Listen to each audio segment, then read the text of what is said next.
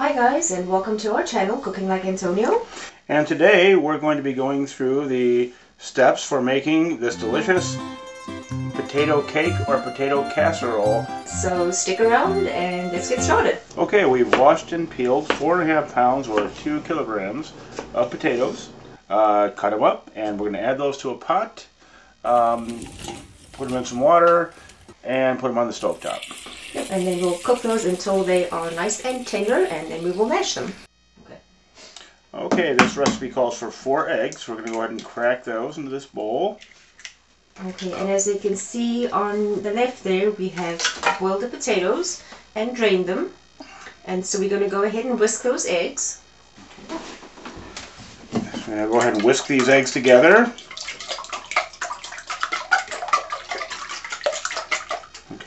Okay. So we're going to go ahead and mash the potatoes up nicely.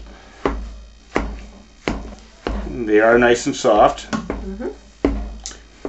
And then um, in the intro to this recipe, he says that um, Okay, I'm going to switch here to a different utensil. it is originally from the south of Italy, and it was often used. It was often used for picnics, or simply as a vehicle to use up leftovers. Okay, we have those mashed up, so we're going to go ahead and add the butter and the egg. So first we're going to do the butter. So we're going to do half of the butter.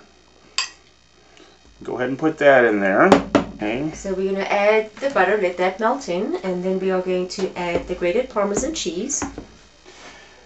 Okay, we're going to go ahead and add the Parmesan cheese. Mm-hmm. And that is two ounces of freshly grated Parmesan cheese. And as you can see, that's a pretty stiff mixture that we've go have going on there. It's not like mashed potatoes that you would make as a side dish. So next we're going to add the eggs. Okay. We'll go ahead and add the eggs then. Hopefully the heat doesn't scramble it. You know, we'll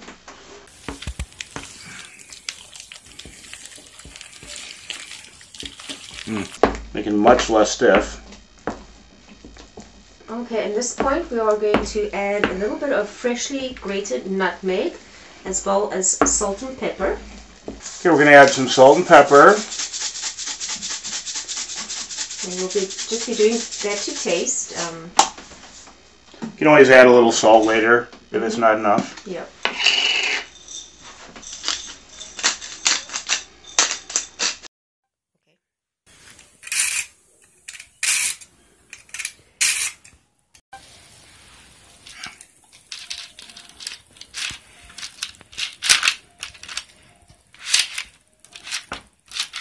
Okay, so next we're going to take the Fontina cheese. You can also use any kind of soft cheese according to the recipe.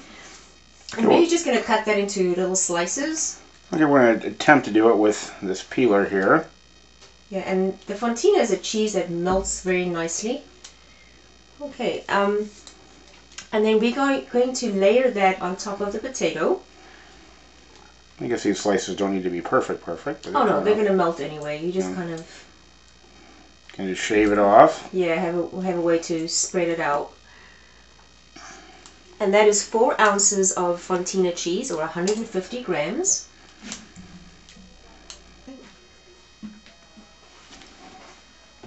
So now that we have that done, we're going to go ahead and layer a cheese here on this.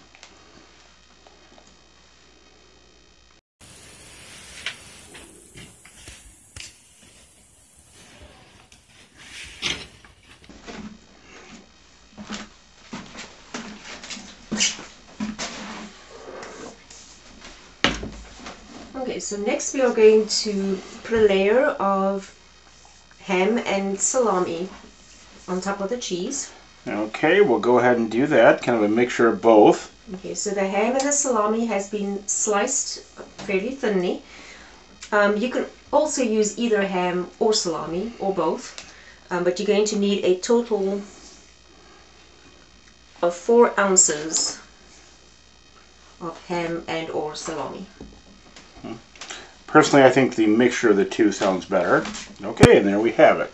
Okay, so now what we're going to do is we're going to take about half of the remaining butter and just put little dots of that over the top of the meat.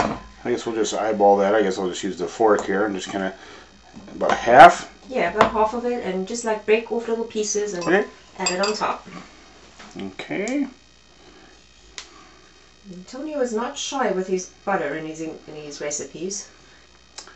Okay, we just about have that done. And there we go. Okay, and then finally we are going to add the remaining potato on top.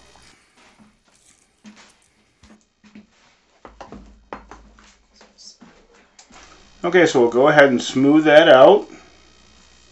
Mostly done already. Okay, that looks pretty good. And um, now we are just going to top that with some breadcrumbs. Okay, which we happen to have right here. And that is half an ounce or 20 grams of fine breadcrumbs. And there we go.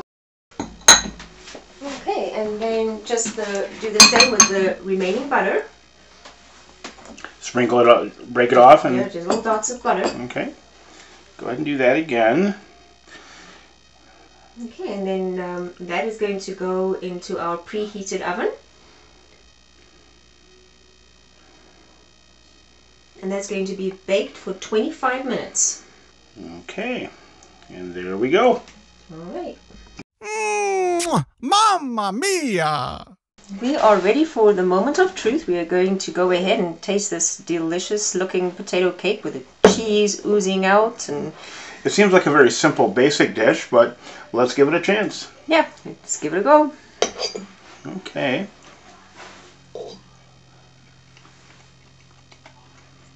Mmm, Hmm. That's comfort food right there. that's comfort food. Antonio did not let us down again. We're kind of thinking this is kind of a basic meal, but my goodness, it just everything just comes through. Mm. Very interesting take on mashed potatoes, uh, the salami, the cheese. It just mm, all together, just awesome. If you guys want to try this at home, let us know what you think.